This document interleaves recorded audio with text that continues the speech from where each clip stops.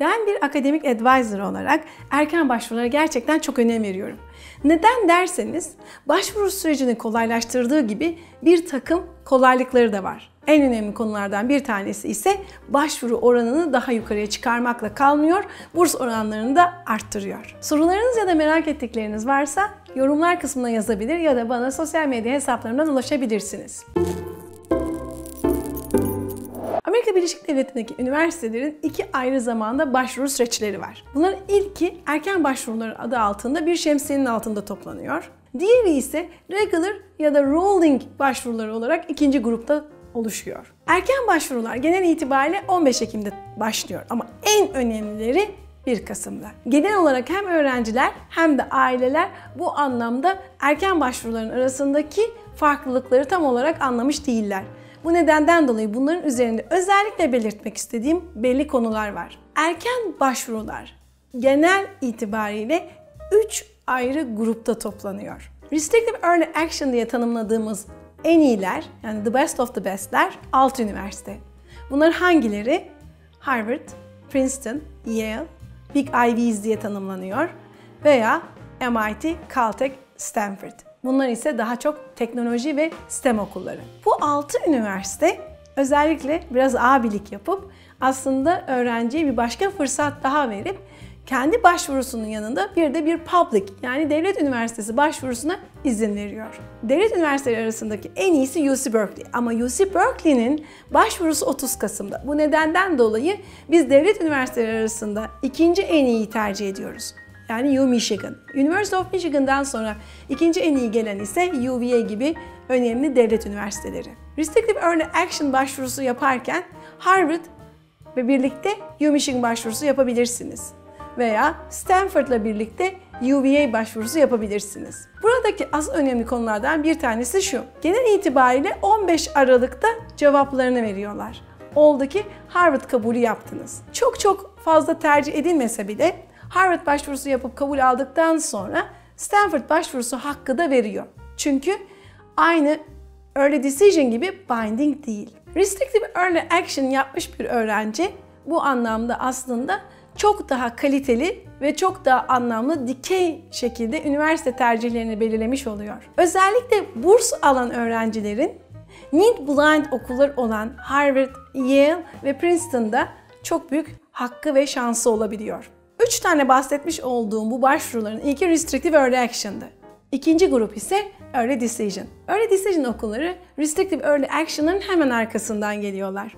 Bunlar en iyiler değiller. Daha çok hemen en iyilerin altından gelen üniversiteler. Early Decision'da yer alan üniversitelerin en iyisi çok sevdiğim Columbia Üniversitesi. Bunun hemen arkasından Cornell, Brown, UPenn Dartmouth geliyor. Small Ivy ve diğer Ivy okullarının dışında kalan birkaç tane daha okul var.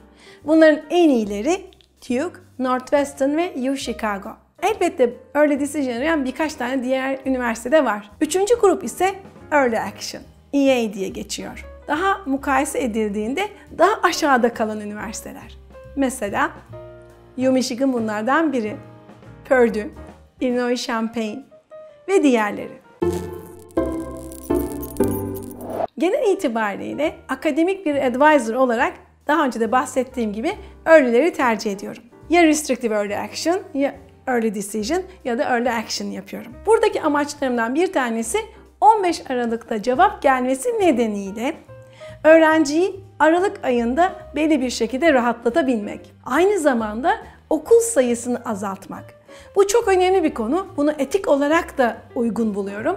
Neden derseniz aslında çok daha az okul başvurduğunuzda az okula kabul ediliyorsunuz belki ama diğer öğrencilerin, diğer arkadaşlarınızın da başka üniversitelere girme imkanını sağlamış oluyorsunuz. Eğitimde eşitlik kavramı açısından etik değerler anlamında da bu çok önemli. Buradaki maksat sadece sizin girmeniz değil, aynı zamanda diğer öğrencilerin de iyi üniversitelere okuma hakkına fırsat vermek. Genel anlamıyla erken başvuruların aslında bu anlamda başka bir avantajı daha var. Öğrenciye ve aileye okul başvuru süreçlerinde belli bir şekilde ekonomik anlamda fayda da sağlıyor. Nasıl mı?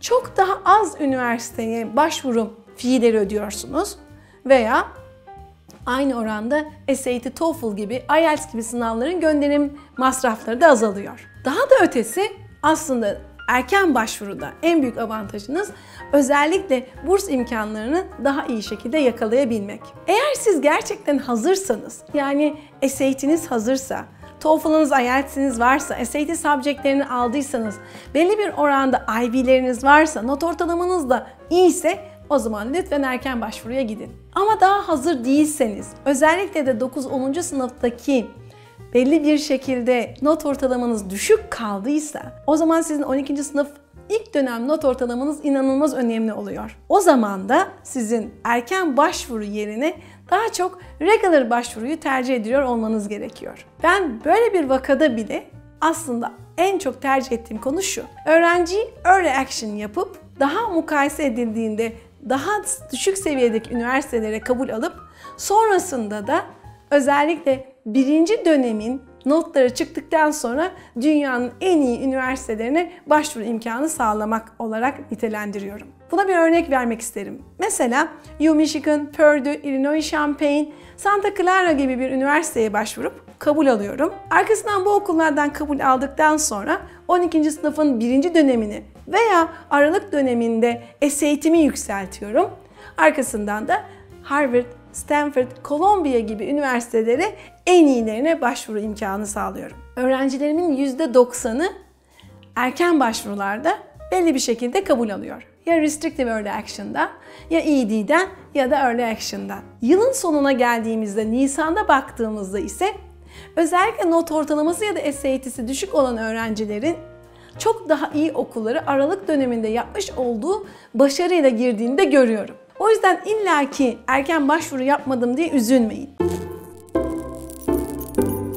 Pek çok iyi üniversite özellikle erken başvurularda profillerini ve kriterlerini çok yüksek tutarken regular decision sürecinde bu profilleri daha düşük seviyede tutuyor ve sizlerin kabul imkanlarını daha kolaylaştırıyor. Özellikle burs arayan öğrenciler tam olarak hazır değillerse ve erken başvuruları kaybettilerse morallerini bozmasınlar.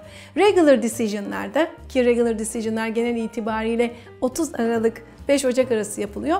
Bu dönemde de burs imkanlarını inanılmaz derecede yakalayabiliyorlar. Bir başka videomda Regular Decision'den de detaylı olarak bahsedeceğim. Bu videonun sonuna geldik. Bu konuyla ilgili yorumlarınızı ya da merak ettiklerinizi yorumlar kısmına yazabilirsiniz. Ya da bana sosyal medya hesaplarından ulaşabilirsiniz. Dinlediğiniz için teşekkürler.